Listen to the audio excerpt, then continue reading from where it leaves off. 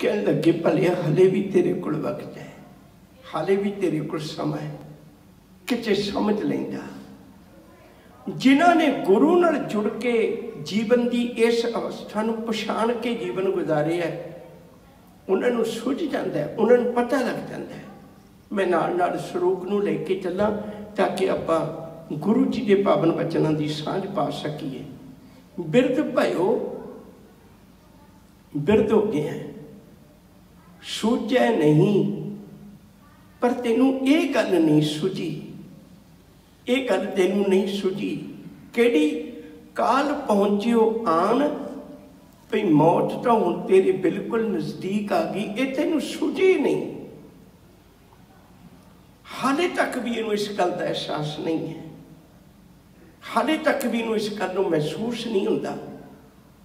ਮੰਨਿਆ ਬਚਪਨ ਵਿੱਚ ਤੈਨੂੰ ਨਾ ਅਹਿਸਾਸ ਹੋਇਆ ਹੋਵੇ ਕਿਉਂਕਿ ਸਾਹਮਣੇ ਜਵਾਨੀ ਦਿਸਦੀ ਹੈ। ਜਵਾਨੀ ਵਿੱਚ ਵੀ ਹੋ ਸਕਦਾ ਤੈਨੂੰ ਨਾ ਅਹਿਸਾਸ ਹੋਇਆ ਹੋਵੇ, ਬੁਢਾਪੇ ਵਿੱਚ ਤਾਂ ਦੇਖਦਾ ਹੀ ਹੈ ਨਾ। ਨਿਤ ਦਿਹਾੜੀ ਲੋਕ ਤੁਰ ਜਾਂਦੇ ਨੇ। ਤੇਰੀ ਅੱਖਾਂ ਦੇ ਸਾਹਮਣੇ ਖੇਲ ਵਰਤਦਾ ਹੁਣ ਤੇ ਤੈਨੂੰ ਸੁਝਣਾ ਚਾਹੀਦਾ ਸੀ। ਹਜ਼ੂਰ ਨੂੰ ਪੁੱਛੀਏ ਵੀ ਮੌਤ ਬਾਰੇ ਵੀ ਪਤਾ ਲੱਗ ਜਾਂਦਾ ਸਭ ਕਹਿੰਦੇ ਬਿਲਕੁਲ ਪਤਾ ਲੱਗ ਜਾਂਦਾ ਜਿੰਨਿਆਂ ਦੀ ਤੂੰ ਬਾਣੀ ਪੜ੍ਹਨਾ ਉਹਨਾਂ ਸਾਰਿਆਂ ਨੂੰ ਸੁਝ ਗਿਆ ਸੀ ਗੁਰੂ ਨਾਨਕ ਸਾਹਿਬ ਨੂੰ ਸੁਝ ਗਿਆ ਸੀ ਮੈਂ ਸਰੀਰਕ ਝੋਲਾ ਤਿਆਗਣਾ ਗੁਰੂ ਅੰਗਦ ਸਾਹਿਬ ਨੂੰ ਗੁਰਗੱਦੀ ਦੇ ਦਿੱਤੀ, ਸ਼ਹਿ ਟਿੱਕਾ ਦਿੱਤੋ ਸਜੀਮ ਦੇ। ਗੁਰੂ ਅੰਗਦ ਸਾਹਿਬ ਨੂੰ ਸੁਝ ਗਿਆ ਸੀ ਉਹਨਾਂ ਨੇ ਆਪਣੇ ਜੀਵਨ ਕਾਲ ਵਿੱਚ ਗੁਰੂ ਅਮਰਦਾਸ ਜੀ ਨੂੰ ਗੁਰਗੱਦੀ ਤੇ ਬਿਠਾਇਆ। ਸੁਝ ਗਿਆ ਸੀ ਇੱਥੇ ਬਸ ਨਹੀਂ ਜਿੰਨੇ ਮਰਜ਼ੀ ਆਪਾਂ ਗੁਰੂ ਦੇ ਅੱਗੇ ਅੱਗੇ ਬਚਨ ਪੜ੍ਹੀ ਜਾਈਏ, ਸਾਰੇ ਇਸ ਗੱਲ ਦੇ ਸੂਚਕ ਨੇ। ਸਾਰੇ ਇਸ ਗੱਲ ਦੇ ਪਰਥਾਏ ਨੇ। ਹਜ਼ੂਰ ਕਹਿੰਦੇ ਨੇ, ਭਲਿਆ ਵੇਖ, ਗੁਰੂ ਅਮਰਦਾਸ ਜੀ ਨੇ ਤਾਂ ਸਤਿਗੁਰ ਭਾਣੇ ਆਪਣੇ ਬਹਿ ਪਰਿਵਾਰ ਸਦਾਇਆ। ਮਤ ਮੈਂ ਪਿੱਛੇ ਕੋਈ ਰੋਗ ਸੀ ਸੋ ਮੈਂ ਮੂਲ ਨਾ ਪਾਇਆ। ਆਪਣੇ ਪਰਿਵਾਰ ਨੂੰ ਗੱਲ ਕਰਕੇ ਗਏ ਨੇ, ਆਪਣੀ ਮੌਤ ਦੀ ਗੱਲ, ਆਪਣੇ ਜੀਵਨ ਦੇ ਚਲਾਣੇ ਦੀ ਗੱਲ, ਆਪਣੇ ਪਰਿਵਾਰ ਨੂੰ ਦੱਸ ਕੇ ਗਏ ਨੇ ਮੇਰੇ ਪਿੱਛੋਂ ਕੀ ਕਰਨਾ ਹੈ? ਤੇ ਮੌਤ ਸੁੱਝ ਗਈ ਸੀ, ਚਲਾਣਾ ਸੁੱਝ ਗਿਆ ਸੀ, ਤਾਂ ਹੀ ਹੈ ਨਾ। ਇੱਕ ਸਾਖੀ ਤੇ ਮੇਰਾ ਖਿਆਲ ਹੈ, ਹਰ ਗੁਰੂ ਘਰ ਨਾਲ ਸੰਬੰਧ ਰੱਖਣ ਵਾਲੇ ਬੰਦੇ ਨੂੰ ਪਤਾ ਹੈ। ਬਾਬਾ ਬੁੱਢਾ ਉਹਨੂੰ ਇਹ ਦੋ ਸ਼ਬਦ ਗੁਰੂ ਨਾਨਕ ਸਾਹਿਬ ਤੇ ਦਿੱਤੇ ਹੋਏ ਨੇ। ਬਾਬਾ ਤੇ ਬੁੱਢਾ। ਅਸਲ ਵਿੱਚ ਮਾਪਿਆਂ ਦਾ ਨਾਂ ਰੱਖਿਆ ਤੇ ਬੁੱਢਾ ਹੈ। ਇਹ ਦੋ ਸ਼ਬਦ ਗੁਰੂ ਨਾਨਕ ਸਾਹਿਬ ਨੇ ਕਿਉਂ ਦਿੱਤੇ? ਕਿਉਂਕਿ ਉਹਨੇ ਇੱਕ ਗਜ਼ਬ ਦੀ ਗੱਲ ਕੀਤੀ ਸੀ। 12 ਸਾਲ ਦੀ ਉਮਰ 'ਚ ਹੈ। ਗੁਰੂ ਕੋਲ ਆ ਕੇ ਹੱਲ ਪੁੱਛਦਾ ਵੀ ਕੋਈ ਮੌਤ ਦੀ ਫਾਹੀ ਤੋਂ ਬਚਣ ਦਾ ਵੀ ਹੱਲ ਹੈ? ਸ਼ਿਵ ਕਹਿੰਦੇ, ਭਲਿਆ, ਜਿਹੜੇ ਬਿਰਧ ਕਿਨਾਰੇ ਚਲੇ ਗਏ, ਮੈਂ ਉਹਨਾਂ ਨੂੰ ਵੀ ਵੇਖਿਆ ਉਹ ਵੀ ਇਹ ਗੱਲ ਕਹਿੰਦੇ ਨੇ ਵੀ ਧਰਮ ਦੇ ਰਾਹ ਤੇ ਤੁਰਨ ਤੋਂ ਪਹਿਲਾਂ ਮੈਂ ਆਪਣੀ ਦੋਤਰੀ ਨੂੰ ਵਿਆਹ ਲਾਂ, ਮੈਂ ਆਪਣੇ ਦੋਤਰੇ ਨੂੰ ਵਿਆਹ ਲਾਂ। ਮੈਂ ਪੋਤੇ ਪੜਪੋਤੇ ਨੂੰ ਵਿਆਹ ਲਾਂ ਇੱਕ ਵਾਰੀ। ਫਿਰ ਮੈਂ ਧਰਮ ਦੇ ਰਾਹ ਤੇ ਤੁਰ ਜਾਵਾਂਗਾ। ਅਸੀਂ ਅਸੀਆਂ 90 90 ਸਾਲਾਂ ਦੇ ਲੋਕ ਵੀ ਚਲਾਣੇ ਦੀ ਗੱਲ ਨਹੀਂ ਕਰਦੇ। ਤੂੰ 12 ਸਾਲ ਦਾ ਬੱਚਾ ਤੇ ਗੱਲ ਮੌਤ ਦੀ ਸਮਝ ਬੈਠਾ ਹੋਇਆ। ਜੀਵਨ ਵਿੱਚ ਤਬਦੀਲੀ ਆ ਜਾਏਗੀ ਜੇ ਕਿਤੇ ਸੋਚ ਜਾਈ ਮੈਂ ਬੇਨਤੀ ਕਰਾਂ। ਮਹਾਤਮਾ ਬੁੱਧ ਨੇ ਸਿਰਫ ਚਲਾਣਾ ਹੀ ਵੇਖਿਆ ਸੀ ਨਾ। ਸੁਝ ਗਿਆ, ਇੱਕ ਦਿਨ ਮੇਰਾ ਵੀ ਆ ਜਾਣਾ ਘਰ ਪਰਿਵਾਰ ਨੂੰ ਛੱਡ ਕੇ ਉਸ ਮਹਾਨਤਾ ਤੱਕ ਪਹੁੰਚ ਗਿਆ, ਗੌਤਮ ਬੁੱਧ ਦਾ ਨਾਮ ਬਦਲ ਕੇ ਮਹਾਤਮਾ ਬੁੱਧ ਬਣ ਗਿਆ। ਆਪਣੇ ਮਨ ਵਿੱਚ ਵਿਚਾਰ ਬਣਾ ਮਨਾ, ਤੂੰ ਕਿਉਂ ਨਹੀਂ ਸੋਚਦਾ ਇਸ ਗੱਲ ਨੂੰ? ਬਿਰਧ ਭਇਓ ਸੋਚੈ ਨਹੀਂ। ਬਿਰਧ ਹੋ ਗਿਆ ਬਜ਼ੁਰਗ ਹੋ ਗਿਆ ਪਰ ਤੈਨੂੰ ਹਜੇ ਤੱਕ ਵੀ ਨਹੀਂ ਸੁਝਦਾ, ਕਾਲ ਪਹੁੰਚਿਓ ਆਨ ਕਿ ਮੌਤ ਤਾਂ ਮੇਰੇ ਬਿਲਕੁਲ ਕੋਲ ਹੈ। ਹਾਲਾਂਕਿ ਮੌਤ ਤਾਂ ਜਿੱਤ ਦਿਹਾੜੀ ਧਨਵਰੀ ਸਾਗੇ ਲੈ ਲਖਾਏ, ਮਲਕ ਜੇ ਕੰਨੀ ਸੁਣੀਦਾ, ਮੂੰਹ ਤੇ ਖੱਲੇ ਆਏ, ਉਹ ਤੇ ਕਿਸੇ ਵੇਲੇ ਵੀ ਆ ਸਕਦਾ ਕਿਉਂਕਿ ਬਹੁਤ ਨਿਸ਼ਚਿਤ ਹੈ। ਜੈਸੇ ਕਿਰਸਾਨ ਬੋਵੇ ਕਿਰਸਾਨੀ, ਕਾਚੀ ਪਾਕੀ ਬਾੜ ਪਰਾਣੀ, ਜੋ ਜਨਮੈ ਸੋ ਜਾਨੋ ਮੂਆ, ਗੋਬਿੰਦ ਭਗਤ ਅਸਥਰ ਹੈ ਥੀਆ ਇਸ ਗੱਲ 'ਚ ਕੋਈ ਦੋਰਾਮਾ ਨਹੀਂ, ਪਰ ਫਿਰ ਵੀ ਹਜ਼ੂਰ ਕਹਿੰਦੇ ਕਿਸੇ ਹੱਦ ਤੱਕ ਉਹਨਾਂ ਉਮਰਾਂ ਦੇ ਵਿੱਚੋਂ ਭੁੱਲਿਆ ਵੀ ਜਾ ਸਕਦਾ, ਕੋਈ ਗੱਲ ਨਹੀਂ, ਪਰ ਜਦੋਂ ਤੈਨੂੰ ਆਹ ਤਾਂ ਬਿਰਧ ਅਵਸਥਾ ਵਿੱਚ ਤਾਂ ਭੁੱਲਣਾ ਹੀ ਨਹੀਂ ਚਾਹੀਦਾ, ਕਿਉਂਕਿ ਇਸ ਤੋਂ ਅੱਗੇ ਪੜ੍ਹਾਈ ਕੋਈ ਨਹੀਂ। ਇਸ ਤੋਂ ਅੱਗੇ ਜ਼ਿੰਦਗੀ ਦਾ ਪੜ੍ਹਾਈ ਕੋਈ ਨਹੀਂ। ਮਾਲਕ ਨੇ ਬਚਨ ਆਖੇ, ਕਹਿਣ ਲੱਗੇ, ਮੈਂ ਤੈਨੂੰ ਕਿੰਨੀ ਵਾਰੀ ਸਮਝਾਉਣਾ ਹੈ, ਮਿਰਤ ਹੱਸੈ ਸਿਰ ਉੱਪਰ ਹੈ, ਪਸ਼ੂਆ ਨਹੀਂ ਪੂਜੈ ਬਾਦ ਸਾਧ ਅਹੰਕਾਰ ਮੈਂ ਮਰਨਾ ਨਹੀਂ ਸੁਝੈ ਸੁਝਿਆ ਹੀ ਨਹੀਂ ਤੈਨੂੰ ਜ਼ਿੰਦਗੀ ਲੰਘ ਚੱਲੀ। ਹੁਣ ਤਾਂ ਸੁਝ ਜਾਂਦਾ, ਹੁਣ ਤੇ ਤੈਨੂੰ ਅਹਿਸਾਸ ਹੋ ਜਾਂਦਾ, ਹੁਣ ਤੇ ਤੈਨੂੰ ਪ੍ਰਤੀਤ ਹੁੰਦਾ ਮਨਾ ਤਿਆਰੀ ਕਰ ਲੈ ਜਾਣ ਦੀ। 12 ਸਾਲ ਦੀ ਉਮਰ ਵਿੱਚ ਕੋਈ ਬੱਚਾ ਮੱਥਾ ਟੇਕ ਕੇ ਗੁਰੂ ਨਾਨਕ ਸਾਹਿਬ ਦਾ ਕੀਰਤਨ ਸੁਣ ਕੇ ਪੁੱਛਦਾ, ਮੈਂ ਮੌਤ ਤੋਂ ਕਿਵੇਂ ਬਚਾਂ? ਤੇ ਗੁਰੂ ਉਸ ਬੱਚੇ ਨੂੰ ਬਾਬਾ ਤੇ ਬੁੱਢੇ ਦਾ ਨਾਂ ਦਿੰਦੇ ਨੇ।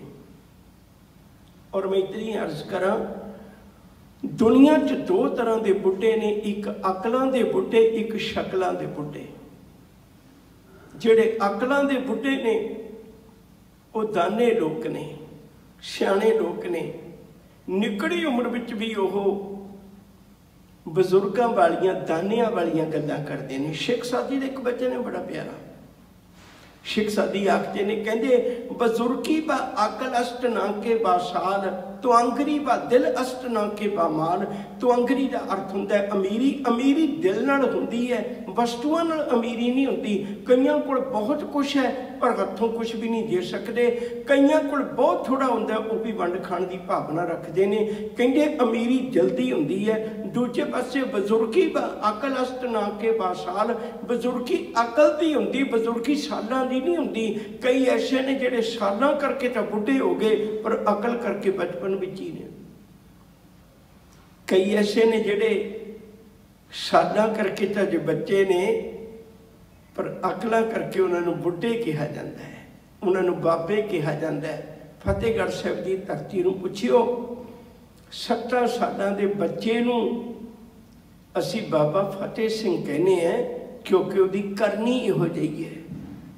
9 ਸਾਲਾਂ ਦੇ ਬੱਚੇ ਨੂੰ ਅਸੀਂ ਬਾਬਾ ਜ਼ੋਰਾਵਰ ਸਿੰਘ ਕਹਿੰਦੇ ਆ ਕਿਉਂਕਿ ਉਹਦੀ ਕਰਨੀ ਇਹੋ ਜਿਹੀ ਹੈ। ਬਜ਼ੁਰਗ ਹੋ ਗਏ ਸਾਡੀ ਕਰਨੀ ਹਜੇ ਵੀ ਨਹੀਂ ਬਦਲੀ। ਹੁਣ ਤਾਂ ਮਨ ਤੋਂ ਤਬਦੀਲ ਕਰ ਲੈਂਦਾ। ਹੁਣ ਤੇ ਤੋਂ ਤੇਰੇ ਵਿੱਚ ਤਬਦੀਲੀ ਆ ਜਾਂਦੀ, ਹੁਣ ਤੇ ਫ਼ਰਕ ਪੈ ਜਾਂਦਾ। ਬਿਰਧ ਭਇਓ ਸੂਚੈ ਨਹੀਂ, ਕਾਲ ਪਹੁੰਚਿਓ ਆਨ। ਸਰੀਰ ਦਾ ਇੱਕ ਇੱਕ ਅੰਗ ਬਾਕੀ ਹੋ ਗਿਆ। ਫਰੀਦਾ ਅੱਖੀ ਦੇਖ ਪਤੀਨੀਆਂ। ਅੱਖਾਂ ਦੀ ਨਜ਼ਰ ਕਮਜ਼ੋਰ ਹੋ ਗਈ। ਸੁਣ ਸੁਣ ਰੀਣੇ ਕੰਨ, ਸ਼ਾਖ ਪਕੰਦੀ ਆਈਆ, ਅਵਰ ਕਰੇਂਦੀ ਬਨ ਸ਼ਾਖ ਪੱਕ ਗਈ ਹੁਣ ਤੇ, ਜਿਹੜਾ ਫਲ ਪੱਕ ਗਿਆ, ਉਹ ਕਿੰਨਾ ਕੁ ਚਿਰ ਦਰਖਤ ਨਾਲ ਲੱਗਿਆ ਰਹੇਗਾ? ਕਿੰਨਾ ਕੁ ਚਿਰ ਸੰਸਾਰ 'ਚ ਹੁਣ ਜਿਉਣਾ ਹੈ?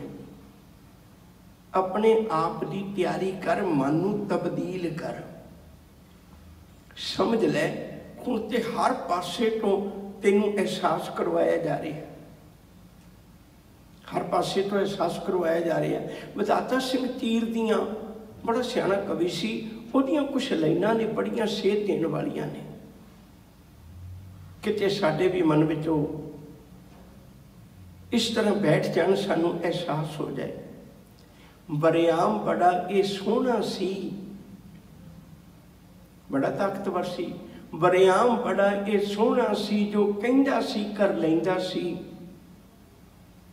ਪੁੱਤ ਹੱਥੀ ਸ਼ਾਮਾਂ ਕਰਦੇ ਸਨ, ਇਹ ਜਿੱਥੇ ਵੀ ਜਾ ਬੈਂਦਾ ਸੀ। ਕਹਿੰਦੇ ਧੀਆਂ ਪੁੱਤ ਹੱਥੀ ਸ਼ਾਮਾਂ ਕਰਦੇ ਸੀ, ਜਿੱਥੇ ਵੀ ਜਾ ਕੇ ਬੈਠਦਾ ਸੀ। ਜਿਤਨੇ ਵੀ ਕਰਦੇ ਜੀ ਹੈ ਸਨ, ਸਭ ਇਸ ਨੂੰ ਜੀ ਜੀ ਕਰਦੇ ਸਨ। ਇਹ ਆਪਣੇ ਘਰ ਦਾ ਰਾਜਾ ਸੀ, ਸਭ ਇਸ ਦਾ ਪਾਣੀ ਭਰਦੇ ਸਨ। ਅੱਜ ਉਹਨਾਂ ਚੋਂ ਇਸ ਬੁੱਢੜੇ ਦਾ ਨਾ ਕੋਈ ਦਰਦ ਵੰਡਾਂਦਾ ਏ। ਜਿਹੜਾ ਬੜਾ ਬਰਿਆਮ ਸੀ ਨਾ, ਸਾਰੇ ਘਰ ਦੇ ਜੀ ਕਹਿੰਦੇ ਸੀ, ਜਦੋਂ ਕਮਾਉਣ ਜੋਗਾ ਸੀ, ਸਭ ਨੇੜੇ ਹੁੰਦੇ ਸੀ। ਅੱਜ ਉਹਨਾਂ ਚੋਂ ਇਸ ਬੁੱਢੜੇ ਦਾ ਨਾ ਕੋਈ ਦਰਦ ਵੰਡਾਂਦਾ ਏ। ਕੁਝ ਆਖੇ ਤੇ ਉਹ ਕਹਿੰਦੇ ਨੇ ਐ ਐਵੇਂ ਹੀ ਜਾਨ ਪਿਆ ਖਾਂਦਾ ਏ।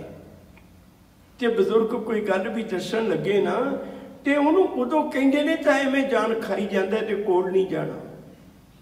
ਹੌਲੀ ਹੌਲੀ ਦੇਖ, ਤੇਰੇ ਬੈੱਡਰੂਮ ਚੋਂ ਤੇਰਾ ਬੈੱਡ ਹੌਲੀ ਹੌਲੀ ਬਾਹਰ ਆਉਣ ਲੱਗ ਪਿਆ, ਫਿਰ ਵੀ ਨਹੀਂ ਸਮਝਦਾ। ਬਰਿਆਮ ਬੜਾ ਇਹ ਸੋਹਣਾ ਸੀ, ਜੋ ਕਹਿੰਦਾ ਸੀ, ਕਰ ਲੈਂਦਾ ਸੀ। ਪੁੱਤ ਹੱਥੀ ਸ਼ਾਮਾਂ ਕਰਦੇ ਸਨੇ, ਜਿੱਥੇ ਵੀ ਜਾ ਬੈਠਾ ਸੀ। ਜਿਤਨੇ ਵੀ ਕਰਦੇ ਜੀ ਹੈ ਸਨ, ਸਭ ਇਸ ਨੂੰ ਜੀ ਜੀ ਕਰਦੇ ਸਨ। ਇਹ ਆਪਣੇ ਘਰ ਦਾ ਰਾਜਾ ਸੀ, ਸਭ ਇਸ ਦਾ ਪਾਣੀ ਭਰਦੇ ਸਨ। ਅੱਜ ਉਹਨਾਂ ਚੋਂ ਇਸ ਬੁੱਢੜੇ ਦਾ ਨਾ ਕੋਈ ਦਰਦ ਵੰਡਾਂਦਾ ਏ। ਕੁਝ ਆਖੇ ਤੇ ਉਹ ਕਹਿੰਦੇ ਨੇ, ਇਹ ਐਵੇਂ ਹੀ ਜਾਨ ਪਿਆ ਖਾਂਦਾ ਏ। ਇਹ ਮੰਜੀਆਂ ਗਿੱਲਣ ਜੋਗਾ ਨਹੀਂ, ਐਵੇਂ ਹੀ ਬੁੜਬੁੜ ਕਰਦਾ ਏ। ਇਹ ਮੰਜੀਆਂ ਗਿੱਲਣ ਜੋਗਾ ਨਹੀਂ, ਐਵੇਂ ਹੀ ਬੁੜਬੁੜ ਕਰਦਾ ਏ। ਫਿਰ ਧੀਆਂ ਪੁੱਤਰ ਕਹਿੰਦੇ ਨੇ, ਇਹ ਬੁੱਢੜਾ ਅਜੇ ਨਾ ਮਰਦਾ ਏ। ਉਹਦੀ ਗੱਲ ਤੋਂ ਅੰਦਾਜ਼ਾ ਲਾਉਂਦੇ ਨੇ, ਜਿਹੜਾ ਹਜੇ ਵੀ ਬੋਲੀ ਜਾਂਦਾ, ਲੱਗਦਾ ਇਸ ਸਾਲ ਵੀ ਨਹੀਂ ਇਹਨੇ ਮਰਨਾ। ਜਿਹੜੇ ਕਹਿੰਦੇ ਸਨ ਤੇਰੇ ਆਇਆ ਘਰ ਭਰ ਜਾਂਦਾ ਹੈ ਹੁਣ ਆਸਾ ਲਾਉਂਦੇ ਨੇ, ਤੇਰੇ ਜਾਣ ਨਾਲ ਘਰ ਖਾਲੀ ਹੋ ਜਾਏਗਾ, ਵਿਹਲਾ ਹੋ ਜਾਏਗਾ। ਬਿਰਧ ਭਇਓ ਸੋਚਿਆ ਨਹੀਂ, ਕਿਸੇ ਨੇ ਸਾਥੀ ਨਹੀਂ ਬਣਨਾ ਸਜਣਾ। ਤੇਰਾ ਆਪਣਾ ਆਪ ਵੀ ਸਰੀਰ ਸਾਥੀ ਨਹੀਂ ਬਣਨਾ। ਇਹ ਵੀ ਬਾਗੀ ਹੋ ਜਾਂਦਾ ਹੈ। ਪੈਰ ਰੱਖੇਗਾ ਕਿਤੇ, ਜਾਏਗਾ ਕਿਤੇ। ਸਿਰ ਕੰਪਿਓ, ਪਗ ਡਗਮਗੈ ਨੈਣ ਜੋਟ ਤੇ ਹੀਨ ਕਹੋ ਨਾਨਕ, ਇਹ ਵਿਦ ਭਈ, ਤਉ ਨ ਹਰ ਰਸ ਲੀਨ। ਹਾਲੇ ਤੱਕ ਵੀ ਮਾਲਕ ਦੇ ਚਰਨਾਂ ਵਿੱਚ ਜੁੜਨ ਦਾ ਵੱਲ ਨਹੀਂ ਆਇਆ। ਉਧਰਲੇ ਪਾਸੇ ਨੂੰ ਨਹੀਂ ਤੁਰਿਆ। ਰੱਬ ਦੇ ਘਰ ਵੱਲ ਨੂੰ ਨਹੀਂ ਤੁਰਿਆ। ਇੱਕ ਬੇਨਤੀ ਹੋਰ ਕਰਾਂ। ਧੰਨ ਗੁਰੂ ਅੰਗਦ ਸਾਹਿਬ, ਸੱਚੇ ਪਾਤਸ਼ਾਹ ਜੀ ਮਹਾਰਾਜ ਨੂੰ ਜੋਗੀਆਂ ਨੇ ਇੱਕ ਗੱਲ ਪੁੱਛੀ ਸੀ, ਬੜੀ ਕਮਾਲ ਦੀ।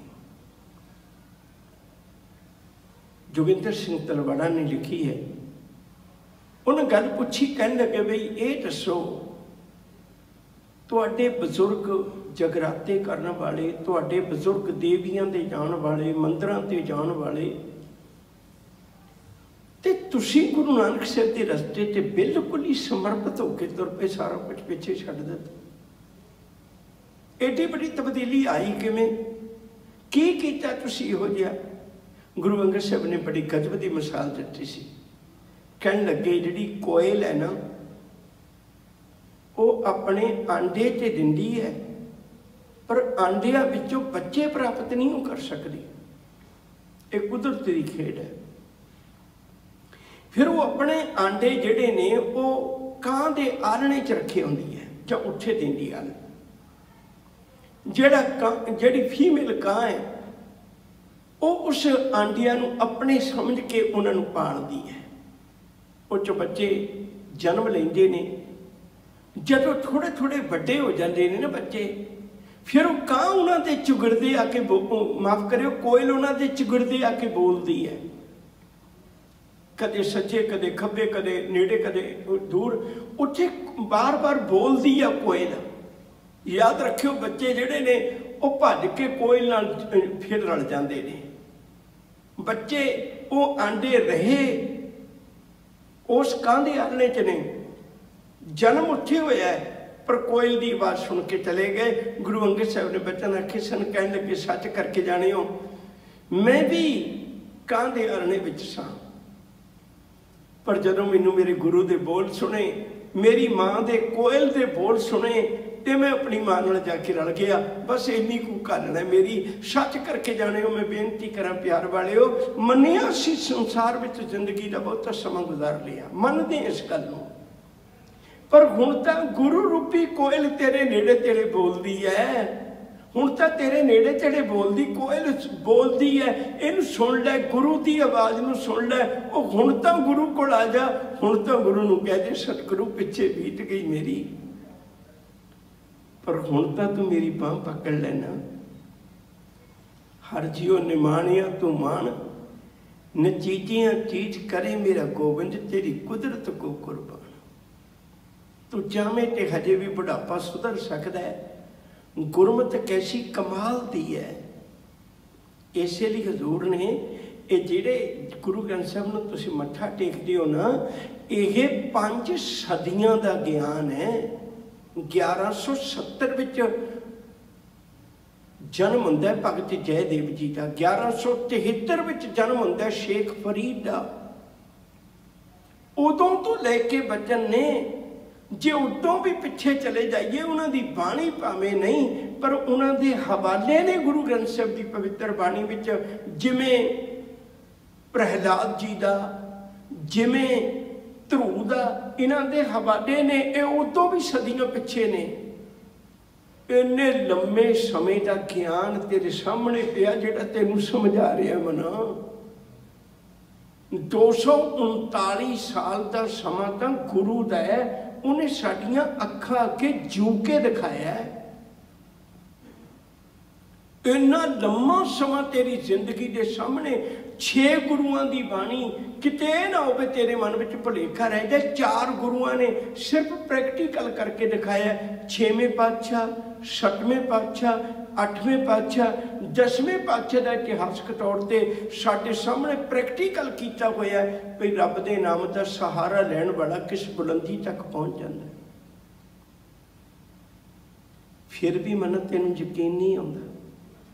ਬਿਰਧ ਭਇਓ ਸੂਝੈ ਨਹੀਂ, ਕਾਲ ਪਹੁੰਚਿਓ ਆਨ, ਕਹੋ ਨਾਨਕ ਨਰ ਬਾਬਰੇ, ਕਿਉਂ ਨਾ ਭਜੈ ਭਗਵਾਨ। ਉਹ ਬਾਬਰੇ ਬਹੁਤ ਧਿਆਨ ਦਿਓ, ਮੈਂ ਇੱਕ ਬੇਨਤੀ ਕਰਨੀ ਚਾਹੁੰਦਾ ਬਹੁਤਾਤ ਸ਼ਲੋਕਾਂ ਦੇ ਵਿੱਚ ਕਹੋ ਨਾਨਕ, ਸੁਣ ਰੇ ਮਨਾ ਆਉਣਾ ਹੈ। ਪਿੱਛੇ ਵੀ ਆਇਆ, ਅੱਗੇ ਵੀ ਆਏਗਾ। ਪਰ ਇੱਥੇ ਸਤਿਗੁਰੂ ਬਖਸ਼ਿਸ਼ ਕਰਦੇ ਨੇ, ਇੱਥੇ ਸਤਿਗੁਰੂ ਰਹਿਮਤ ਕਰਦੇ ਨੇ, ਕਹੋ ਨਾਨਕ, ਨਰ ਬਾਬਰੇ ਇੱਥੇ ਗੱਲ ਨਰ ਦੀ ਕੀਤੀ ਹੈ। ਗੁਰੂ ਤੇਗ ਬਹਾਦਰ ਜੀ ਬੜਾ ਸ਼ਬਦ ਵਰਤਦੇ ਨੇ ਜੋ ਨਰ ਦੁੱਖ, ਮੈਂ ਦੁੱਖ ਨਹੀਂ ਮੰਨੇ। ਗੁਰ ਕਿਰਪਾ ਜੇ ਨਰ ਕੋ ਕੀਨੀ, ਤਹੀਂ ਇਹ ਜੁਗਤ ਪਛਾਨੀ। ਨਰ ਦਾ ਮਤਲਬ ਹੈ ਮਨੁੱਖ। ਮਨੁੱਖ ਇੱਕ ਸਾਂਝਾ ਸ਼ਬਦ ਹੈ। ਮਨੁੱਖ ਕਿਸੇ ਧਰਮ ਦੀ ਵੰਡੀ 'ਚ ਨਹੀਂ ਵੰਡਿਆ ਹੋਇਆ। ਜਿਵੇਂ ਹਿੰਦੂ ਹੈ, ਸਿੱਖ ਹੈ, ਜੈਨੀ, ਬੋਧੀ, ਪਾਰਸੀ, ਕੋਈ ਸ਼ਬਦ ਲਾ ਲਓ। ਉਹ ਧਰਮ ਦੀ ਵੰਡੀ 'ਚ ਵੰਡੇ ਹੋਏ ਸ਼ਬਦ ਨੇ। ਅਸੀਂ ਉਹਨਾਂ ਸ਼ਬਦਾਂ ਤੇ ਵੀ ਮੋਹਰ ਲਾ ਦਿੱਤੀ ਹੈ ਵੀ ਜਿਹੜਾ ਇਹ ਸ਼ਬਦ ਹੈ, ਇਹ ਫਲਾਣੇ ਧਰਮ ਨਾਲ ਸੰਬੰਧਿਤ ਹੈ। ਨਰ ਸ਼ਬਦ, ਮਨੁੱਖ ਸ਼ਬਦ ਕਿਸੇ ਧਰਮ ਨਾਲ ਸੰਬੰਧਿਤ ਨਹੀਂ ਹੈ। ਇਹ ਤੇ ਸਮੁੱਚੀ ਮਾਨਵਤਾ ਨੂੰ ਉਪਦੇਸ਼ ਹੈ, ਸਮੁੱਚੇ ਸੰਸਾਰ ਨੂੰ ਉਪਦੇਸ਼ ਹੈ। ਕੋਈ ਵੀ ਮਨੁੱਖ ਸੁਣੇ, ਕੋਈ ਵੀ ਮਨੁੱਖ ਸੁਣੇ, ਵੀ ਭਲਿਓ ਜੇ ਬੁਢਾਪੇ ਦੇ ਪੜਾਅ ਤੇ ਪਹੁੰਚ ਗਏ ਨਾ, ਤਾਂ ਆ ਮਨਾ ਹੁਣ ਤੂੰ ਜ਼ਿੰਦਗੀ ਦੀ ਬੁੱਕਲ ਵਿੱਚ ਝਾਤ ਮਾਰ ਕੇ ਦੇਖ। ਹੁਣ ਤੂੰ ਆਪਣੇ ਅੰਦਰ ਝਾਤ ਮਾਰ ਕੇ ਦੇਖ। ਜਿਤਨੀਆਂ ਤੇਰੇ ਕੋਲ ਗਲਤੀਆਂ ਹੋ ਗਈਆਂ, ਉਹਨਾਂ ਦੀ ਮਾਫੀ ਲਈ ਗੁਰੂ ਚਰਨਾਂ ਵਿੱਚ ਅਰਦਾਸ ਕਰ।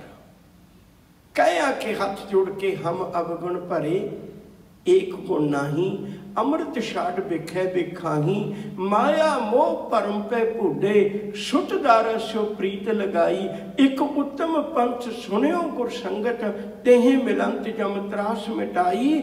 ਇੱਕ ਅਰਦਾਸ ਪਾਠ ਕੀਰਤ ਕੀ ਗੁਰੂ ਰਾਮਦਾਸ। ਰੱਖੋ ਸ਼ਰਨਾਈ। ਦਾਤਿਆ ਔਗਣ ਯਾਰੀ ਨੂੰ ਕੋਈ ਠਾਂ ਨਹੀਂ, ਬਸ ਇੱਕ ਤੇਰੀ ਚਰਨ ਹੈ। ਕਹੋ ਨਾਨਕ ਨਰ ਬਾਬਰੇ ਕਿਉਂ ਨਾ ਭਜੈ ਭਗਵਾਨ?